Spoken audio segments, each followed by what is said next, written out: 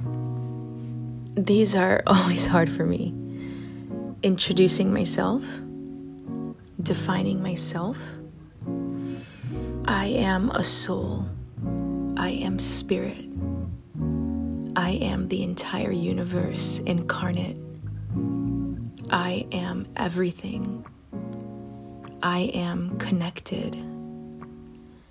I am you. But in terms of ego and persona, I am an Afro Latina artist, painter, dreamer, writer, wild woman, yogi, goddess, Navy veteran, wife. Art and creative expression have always been a part of my life. I'm sensitive, empathic, and intuitive, so art helps me connect to cope and exist. Anything that evokes strong, passionate feelings I crave to experience. Art is not just painting the portrait it's the soul trying to emerge and present itself from the depths of the shadows that we keep it in.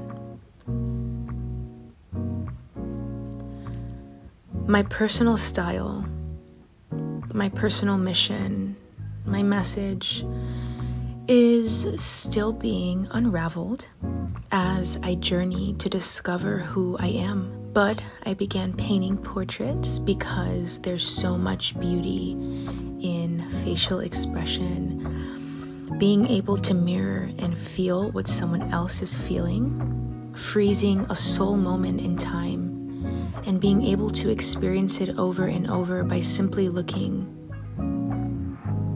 So, using my love for portraiture and aesthetics, I'm working on channeling my existential journey of coming home to my true self. I paint myself quite a lot. I've been called vain and cocky because of it. Um, but it's because I've fallen so madly in love with myself after years of despising who I was. Self realization is the ultimate goal. And through realizing self, I can directly relate to others and this universe. The journey is one that I'm dedicating my life and my art to express.